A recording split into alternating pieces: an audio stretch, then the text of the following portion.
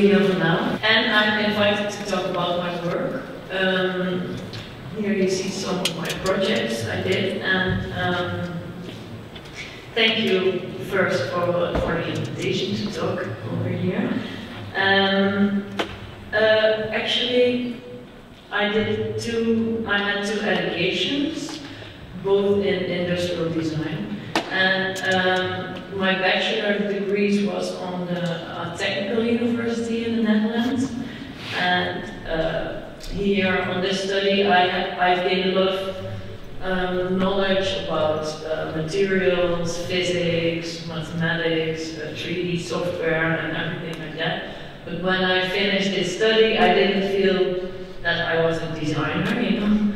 Uh, I had a lot of knowledge, but I didn't have an own vision or something. So after that, I decided to do a master's degree on um, the Royal Academy of Art in The Hague, also in the Netherlands. And at this study, uh, it was it was meant to create a, a vision as a designer.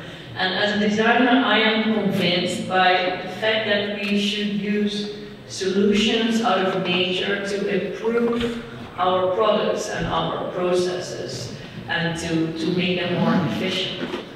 And sometimes uh, a project starts from a frustration, like a product uh, production process where I think about, well, that's so uh, it creates a lot of waste or it's polluted or it's totally inefficient. And sometimes it starts out of uh, a fascination out of nature, what I see. So in the past, um, products were designed to last as long as possible. And I think that's kind of normal. But unfortunately, nowadays, it's totally different, and we all know that uh, companies decide the, uh, how long products can last, and that's also called planned obsolescence. Um, I think it's ridiculous, and I think, um, and this is all, we all do this to keep selling products and to keep the you know, uh, economy flowing. But, and as a designer, we are creating constantly new products. And I think this brings a very huge responsibility regarding sustainability and pollution, pollution from our, our own planet. And I think it's very important to, to look at the whole production, uh, product life cycle from the beginning, like from the raw materials we use towards the recyclability of the product.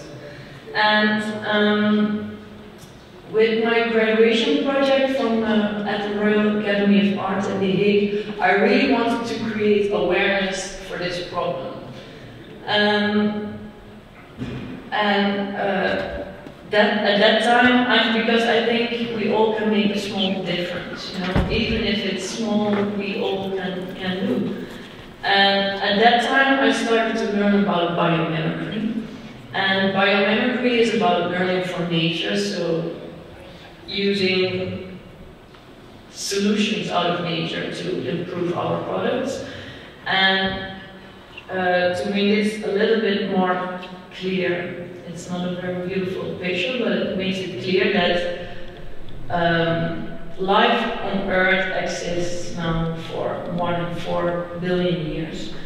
And um,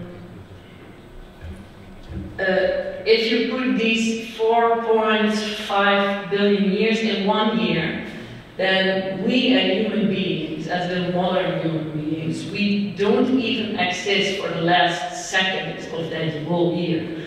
So you can imagine that the uh, Industrial Revolution where we, all the products we make are, we, and all the uh, solutions are, uh, the product we use, we use from the, we have that from the uh, Industrial Revolution. And I think it's ridiculous that we, why shouldn't we use all the knowledge out there of biological trial and error from that whole year instead of not even the last second, you know, it's, I don't know, I, I think it's because nature has a lot of brilliant ideas and, and it's, it's an unlimited library of solution, I think. So, and because of all the new technologies nowadays, uh, like 3D printing, we are creating more distance from nature. And, um, but I think we, we, have, we need to use nature, we, we, yeah, we need it. And actually, by, because of these new technologies, we are able to, uh, to imitate and recreate these very complex structures and processes out of nature way more precisely. So why not combining nature and technology for improving our processes?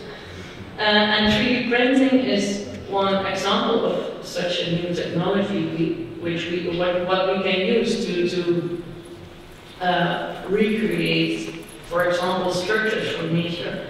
So now I'm going to explain a little bit about my projects I did. And um, here you see my graduation project from my bachelor studies.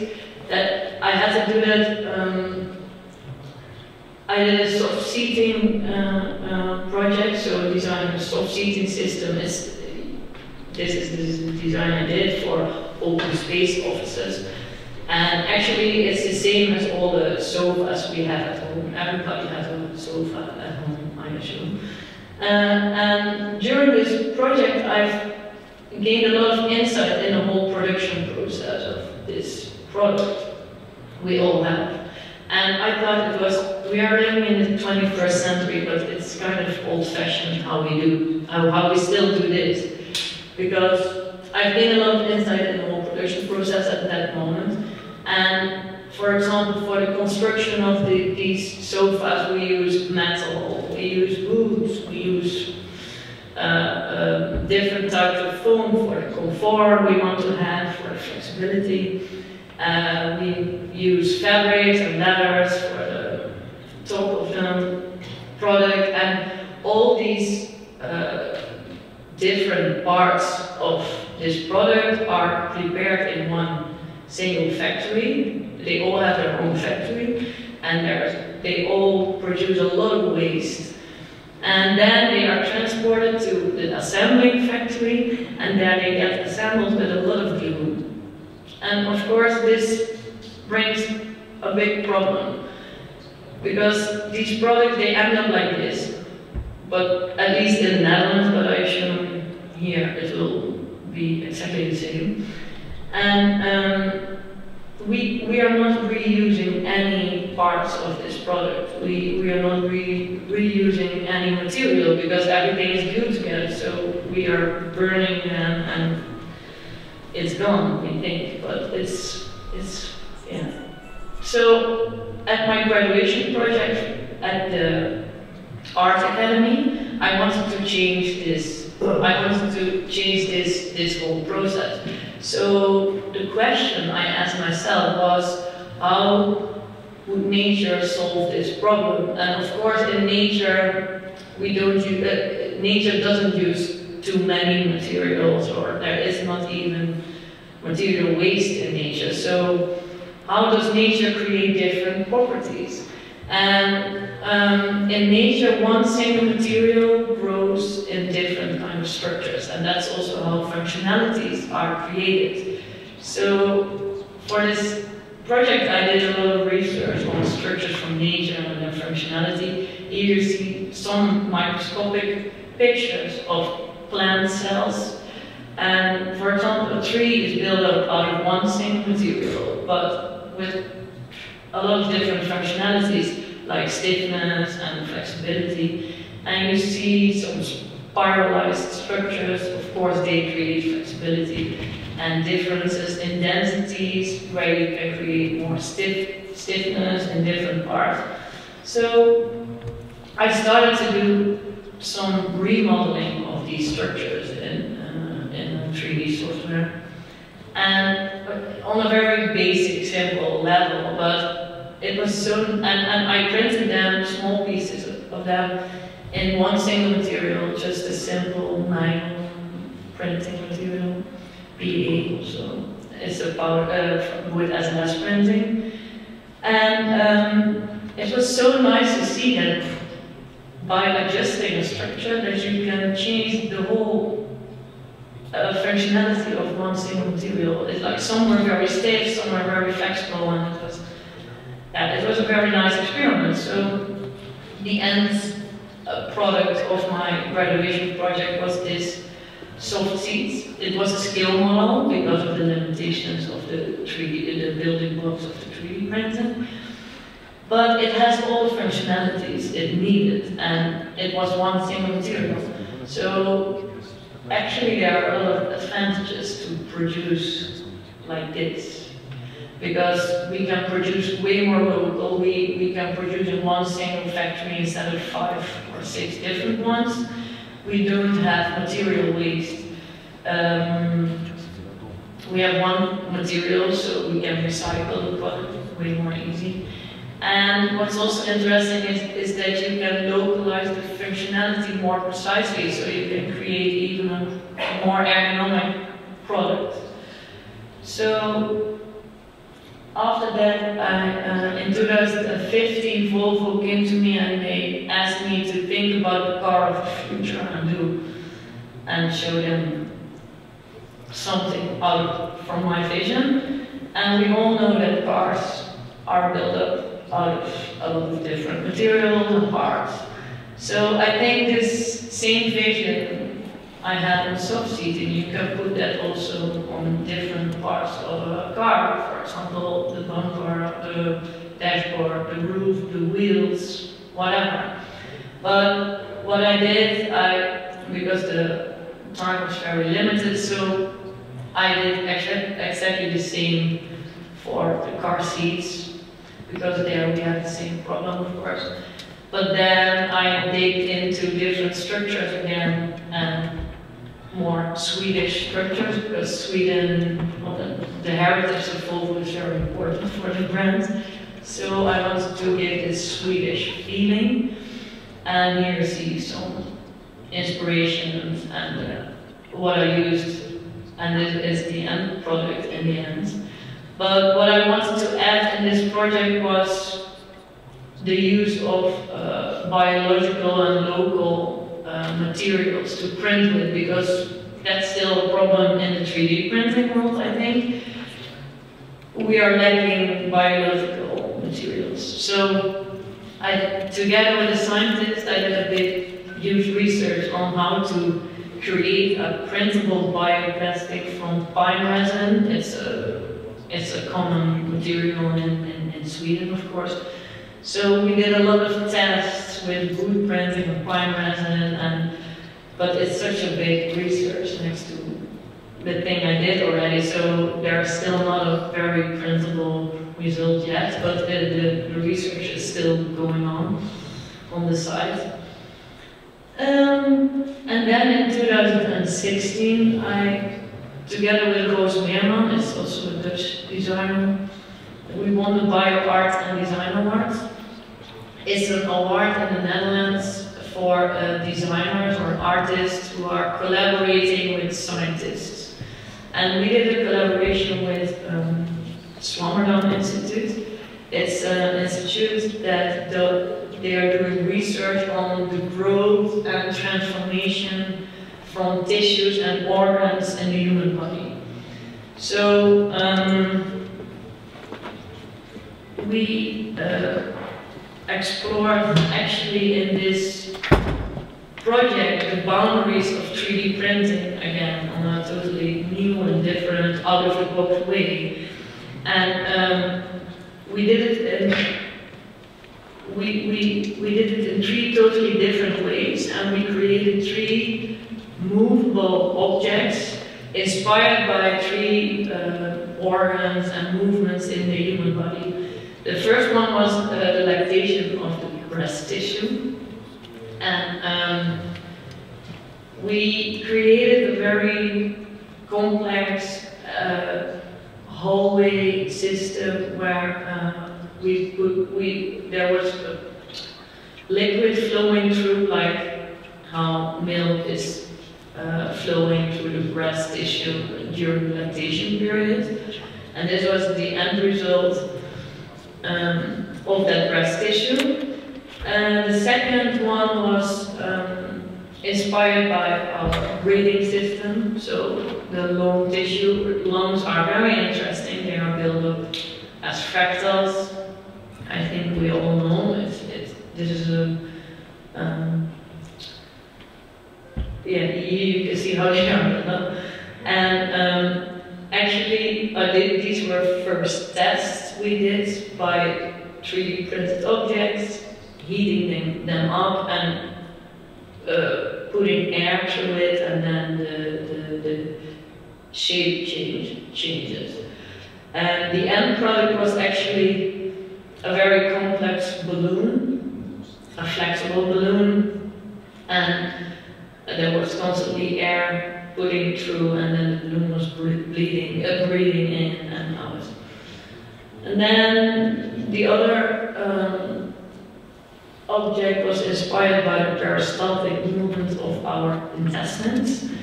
And um, by printing on textiles, we, we recreated this fluid movement of uh, the peristaltic movement. So these were three objects inspired by three or, uh, organs in the human body and in a totally different way. And for us, it was a very experimental and free research on how we can use 3D printing and materials in a totally new way. It was an art project, but for us, it was also a, um, a project to explore how we can come up with new possibilities for 3D printing and materials and apply this maybe in new products or systems or processes. So this is sometimes a way of working where we can come up with new ideas in a totally different way. And um, yeah, here you see the end products.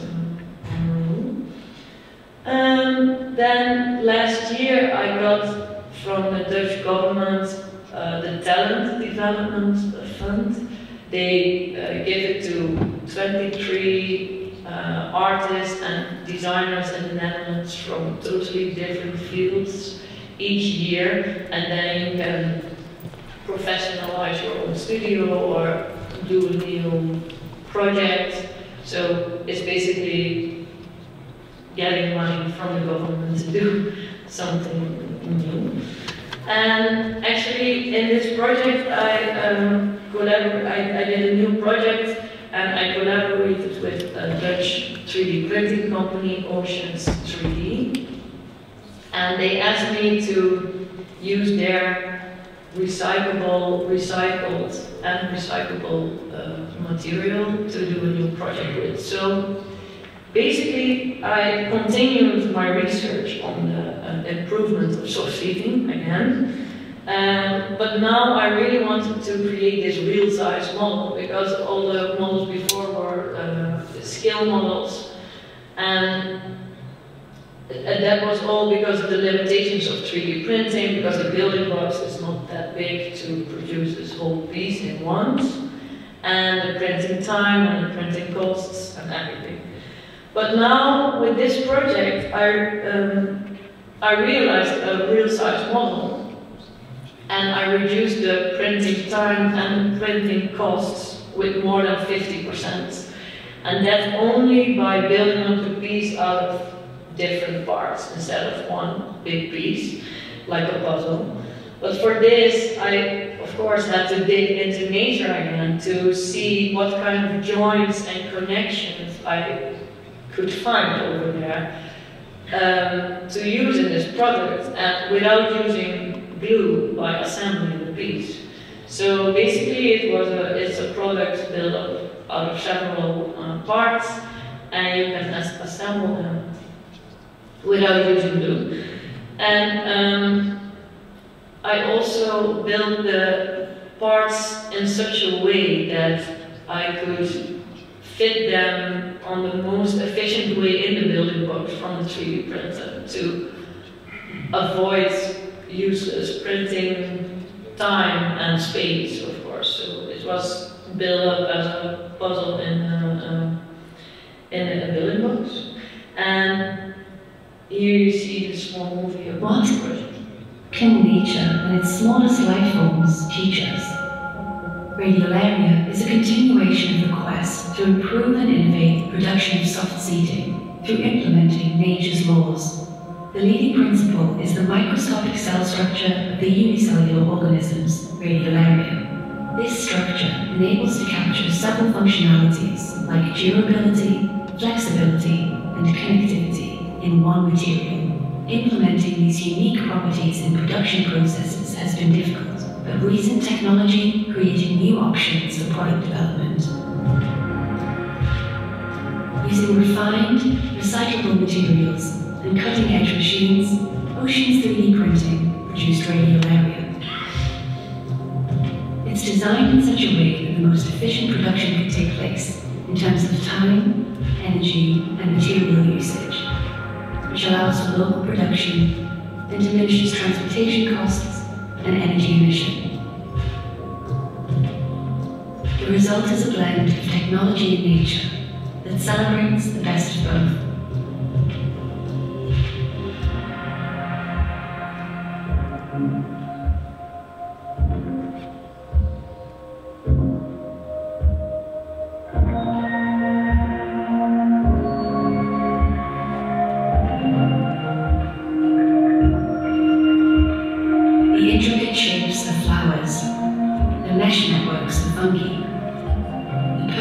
organisms. They have been crafted, remodeled, and burnished during billions of years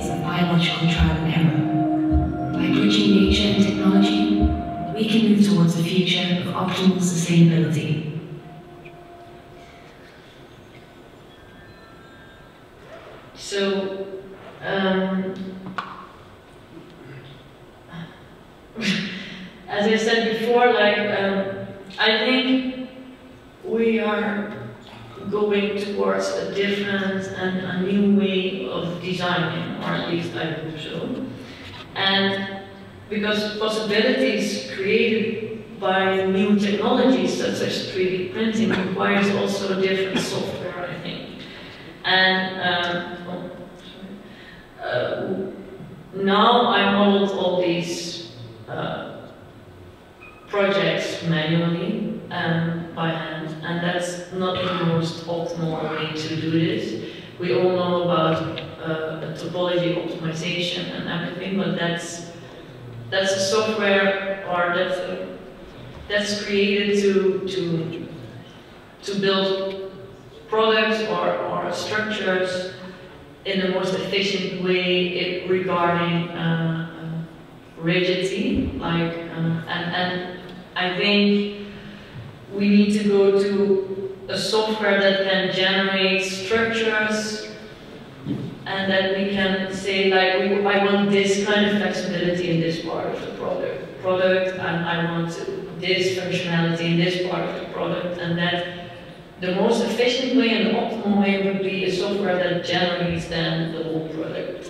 itself. But that's it's not there yet, and but I think it, it, it would be a very good step in, in the software industry. And uh, that's why I started to do a side project together with uh, Biomimicry now uh, Dutch University and an architecture, architecture studio. Uh, we are building up a library of structures out of nature and we are um, modeling them in um, uh, 3D software and we want to go to, towards an open library to use which can be used as, for designers or architects or students or whatever and um, with all the functionalities, of course, from rep representing by that by that structure. And um, as I said before, and, and after that, we really want to we want to collaborate with a software engineer or whatever to build a software around this whole library. But that's a long uh, uh project. I think it will last some years when this library is built. But as I said before, I think we all can make a difference, even when it's small. Uh, but when we are collaborating and work together as with different professionals and profession, prof professionalities, then I think we can even make a bigger change. So I'm always open for nice collaborations. And um, yeah, this was also what I wanted to, say. Projects. Thank you.